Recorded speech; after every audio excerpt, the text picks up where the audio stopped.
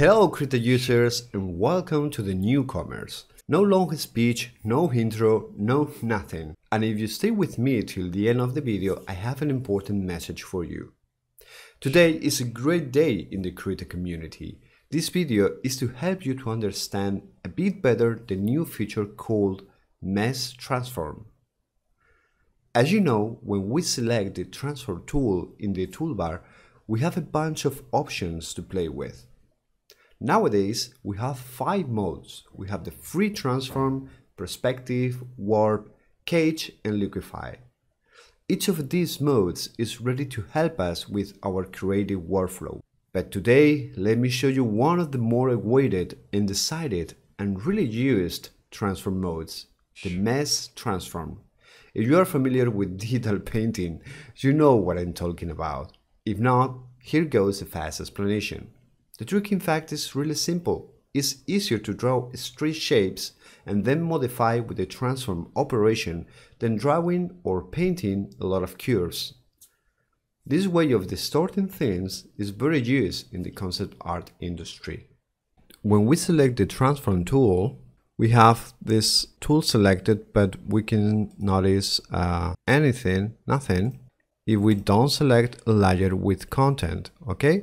So in this case, I'm going to use this grid style image because this way we can see better the deformation. So where are the options for this tool? As you can see, the tool options is hidden behind the advanced color selector. So we can just select this or if we prefer we're going to put this here and we're to make some some area to see all the options. And we have something more visible like this okay? Remember Krita's interface is really really customizable as you want. Okay now we have the basic options selected. As you can see this is selected but we need this one, the mesh transform.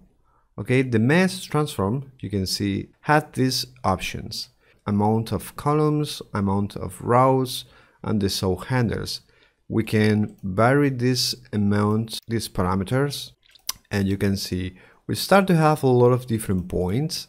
A very, very controllable way of, of distorting things, maybe in a small scales, I just start to see a lot of different points and I can be very, very confused.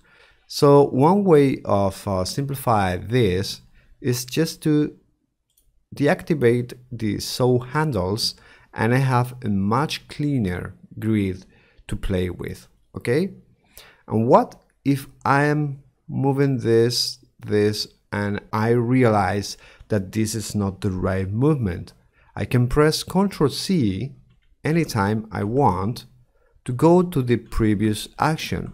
And as you can see, the previous action was the saw handles, so it remembers this also. But what happens if I start to modify things and I want to go to the default state?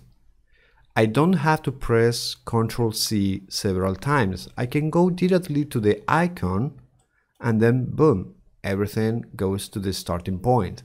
nice. Okay, really interesting to see the basics. But now let's go for more interesting stuff.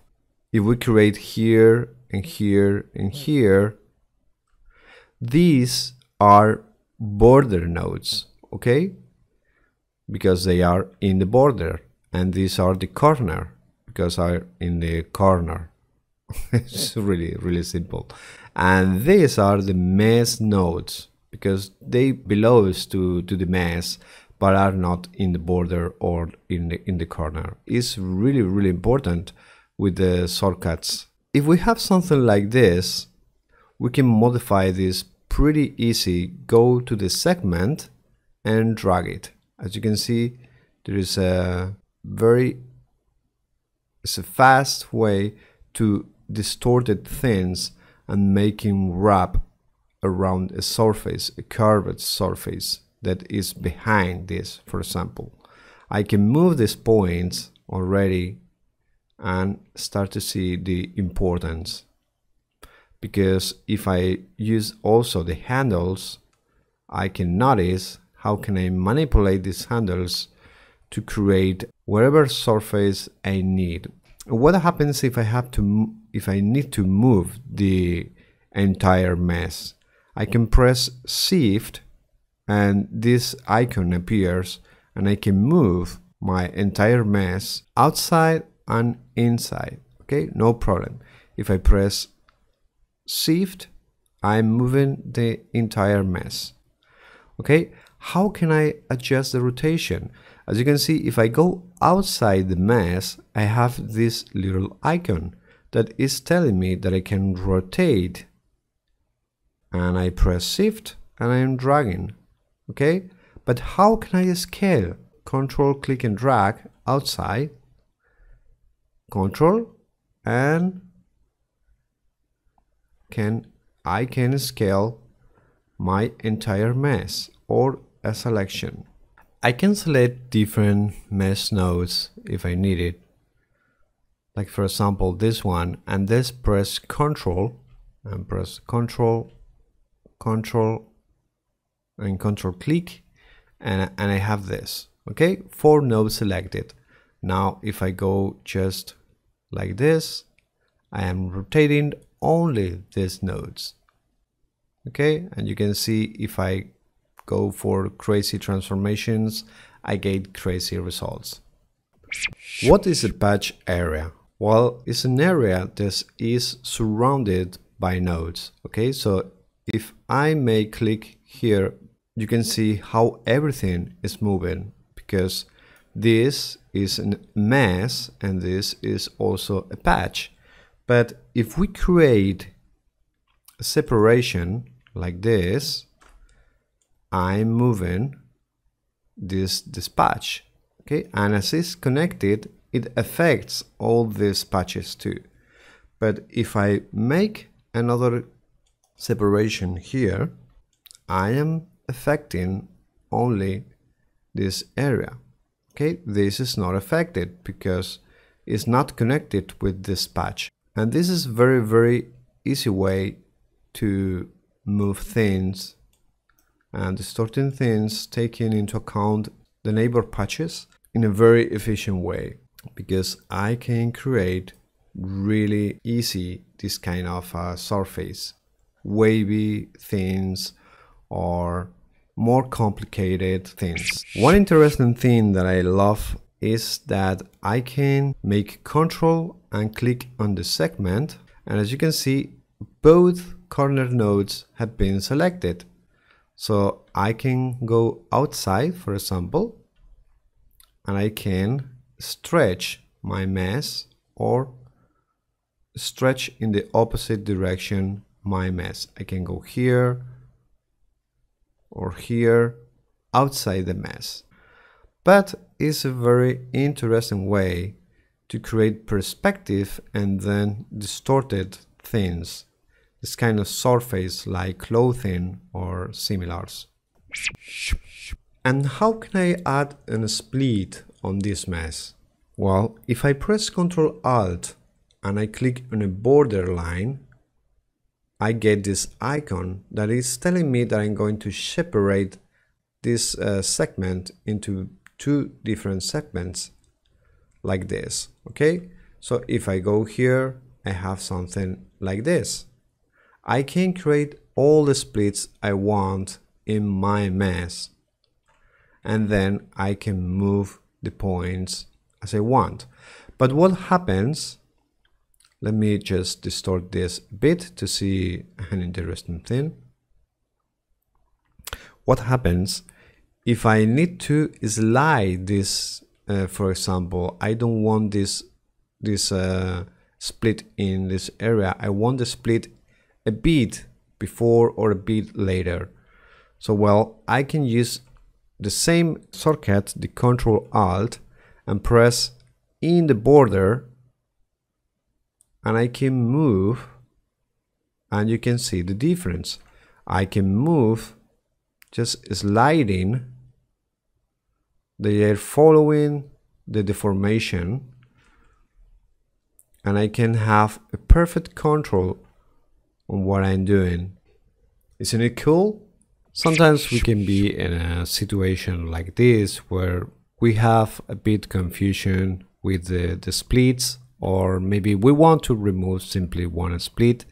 So we select the border node that is affected, press Ctrl Alt and drag away to the horizontal axis or vertical axis and disappears and that means that is removed.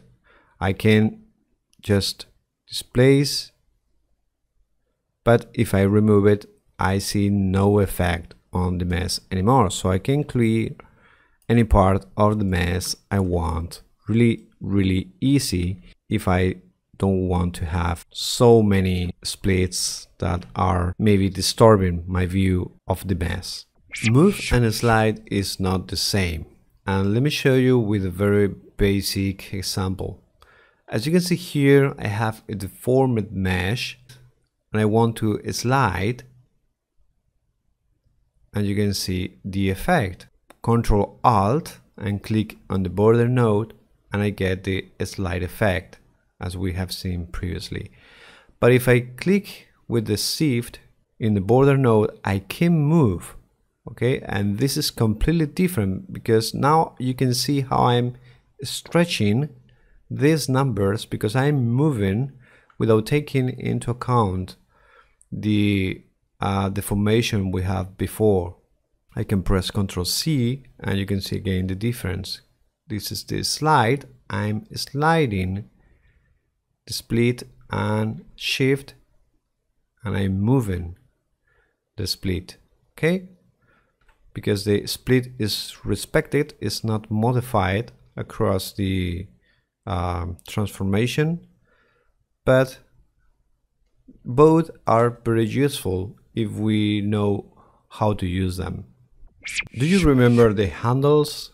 For this example, let me show you with the saw handles active and you can see all these handles in the mesh.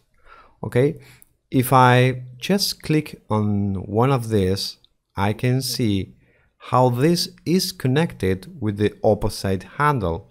But what if I want to break this connection? Okay, this is very easy because I can use the shift and the lockdown disappear and I can just move in the opposite direction of the another handle and get these bumped results really interesting if we are trying to get complex deformations in a very intricate situations maybe. And if I want to go again to the symmetrical movement I can just click and move and I get the same movement as before as the initial state because now are locked.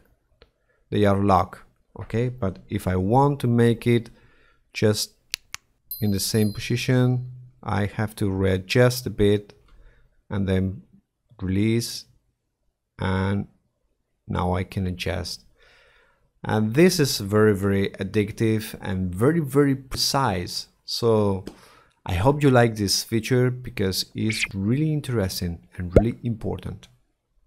Now let me show you in a small showcase. In the last video, we released a new pack with 25 new brushes and textures to paint with Krita, emulating the classical charcoal style. And I have to say, you as a community are awesome. I have gathered some images and wow, for me, as a brush maker, it's really inspiring to see your artworks. As you can see, every pen is well invested and only just have in mind one note. Krita is developed for four platforms, Linux, Windows, Macintosh and recently Android. A lot of work, but even has the animation feature included. So yes, we need more funds and we need more energy to take Krita to the next level and you can be part of this amazing journey. How? You can donate in this link. There are several ways. Go now to this link and make this year even more impressive. This way you obtain several things. The freedom because you can install in all your computers without restrictive licenses. No problem with privacy and a good and supportive community. Remember, Krita is created for the community by the community, and that means a lot. Let's make Krita bigger and stronger as we desire deeply.